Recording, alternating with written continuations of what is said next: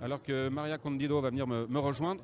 Francese, pardon. Bonsoir. Bonsoir. Euh, de travailler avec Marco Bellocchio, qu'est-ce que ça représentait pour vous? Ah, une énorme joie. J'admire beaucoup son travail. C'est un grand, un grand réalisateur.